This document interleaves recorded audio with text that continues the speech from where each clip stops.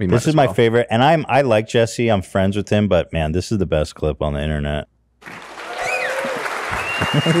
What up, guys? Thank you for having me, EA. If you guys don't know who I am, my name is Jesse Wellens, and I am a YouTube creator.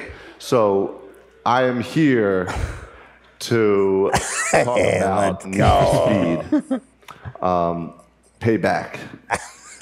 Uh, if you guys didn't know, Need for Speed Payback, I'm um. yeah, it's a great game. But all right, all set aside, I'm a YouTube creator. Need for Speed Payback. It's coming out.